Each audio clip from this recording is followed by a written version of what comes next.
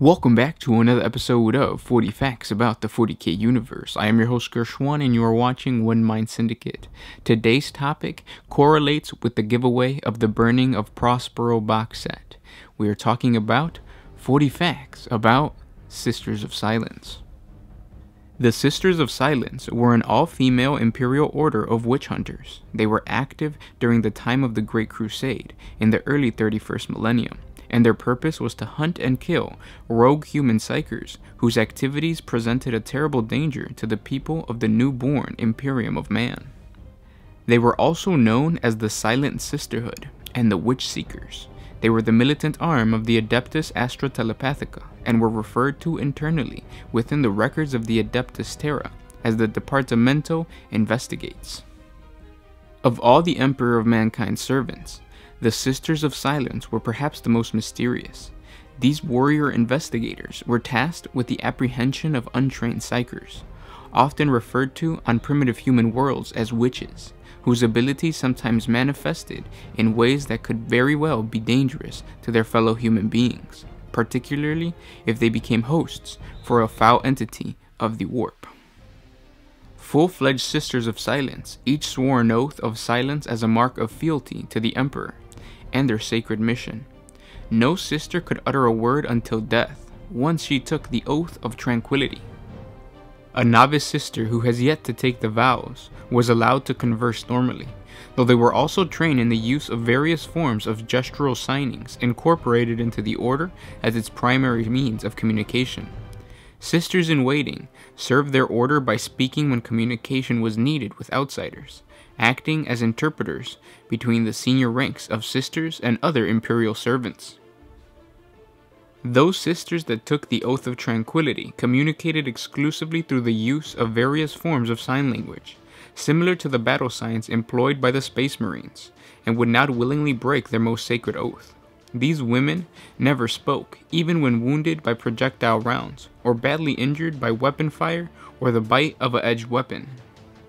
The sisters operated the Adeptus Astra Telepathica's infamous black ships, which ranged the galaxy, following behind the Great Crusade's expeditionary fleets, in search of rogue psykers to capture and expunge, seeking to collect and carry them back to Terra, where they would be tested and their eventual fate decided. Though few in number, the Sisters of Silence commanded great respect within the Imperium, and most servants of the Emperor regarded them with awe. Few would willingly stand in their way or interfere with their activities, and few indeed were those who were comfortable in their presence.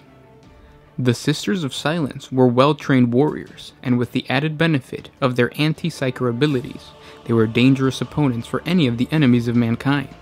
Unlike other living beings, these women, sworn to silence, possessed no presence in the warp and were therefore unaffected by psychic powers. There were many names for them in the multitude of human cultures to be found across the galaxy. Untouchables, pariahs, blanks, all of the members of their order were non-psychic, for they bore the pariah gene, which made them immune to all forms of psychic assault, and their minds unreadable by telepathy. These bearers of the pariah gene possessed the innate ability to disrupt psychic abilities. Their mere presence was intolerable to a psyker, for they became visibly uncomfortable in their company. Close proximity or intimate contact with a pariah could cause a psyker great pain.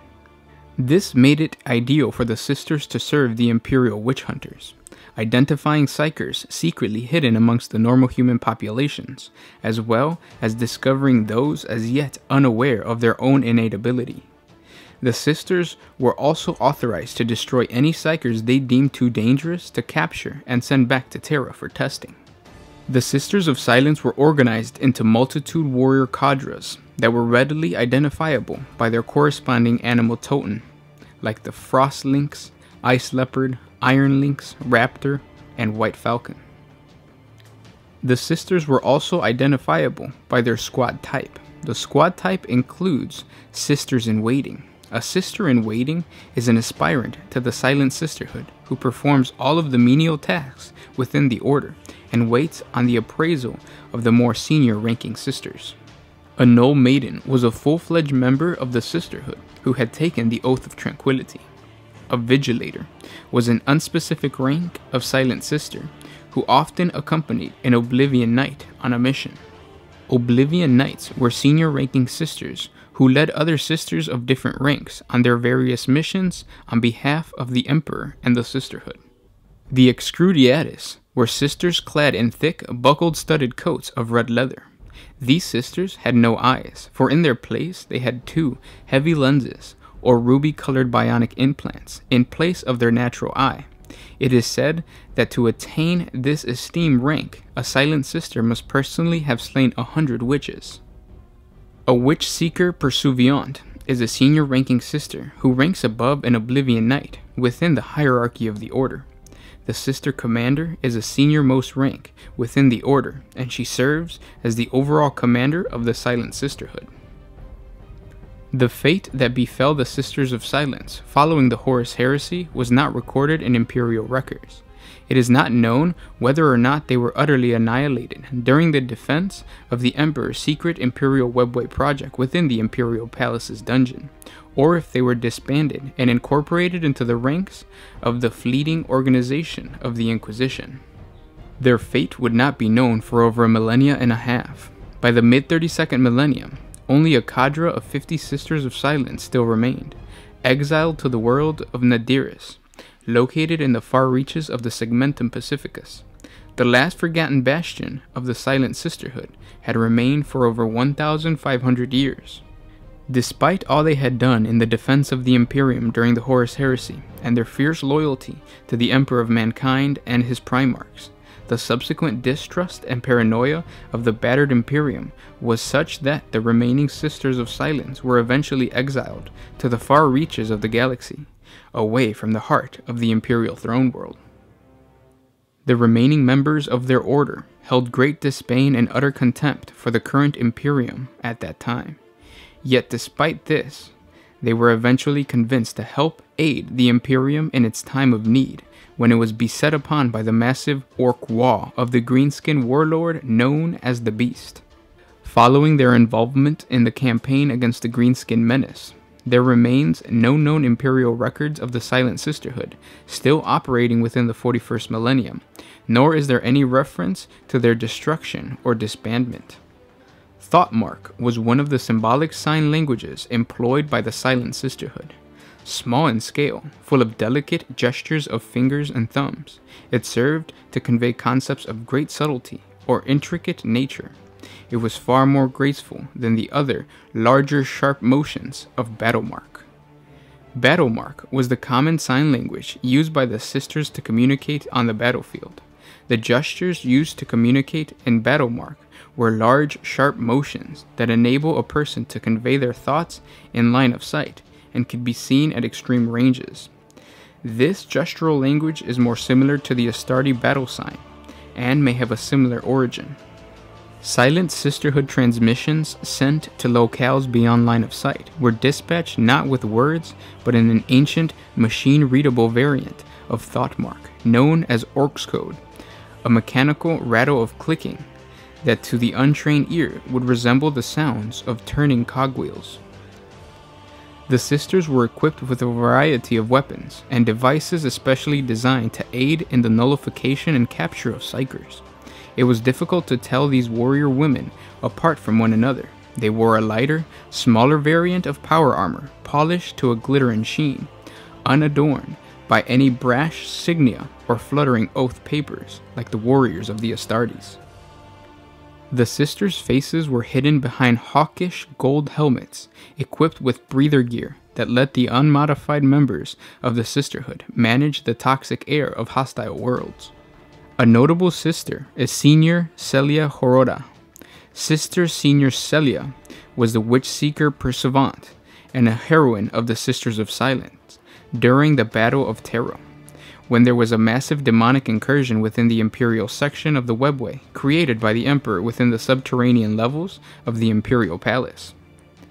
On one occasion, a mighty bloodthirster, the greatest of the demons of Khorne, fought its way through the Imperial defenses and to the Webway Gate, into the palace itself.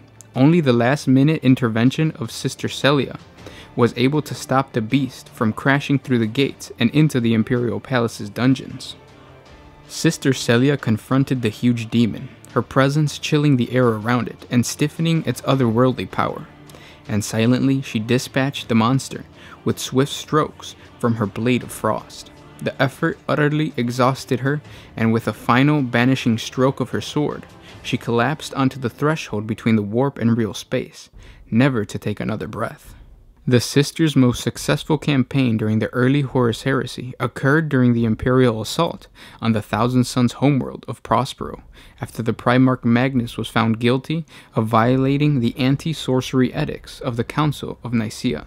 The Sisters of Silence deployed in support of the Space Wolf Legion and a contingent from the Legio Custodes, and provided the main line of defense against the potent psychic abilities of the Thousand Sons Legion. Another important sister is Sister Herkaze. She was one of the Oblivion Knights of the Sisters of Silence. Alongside Amendera Kendel, Sister Karaze was drawn to the notice of the Sisters of Silence as a child.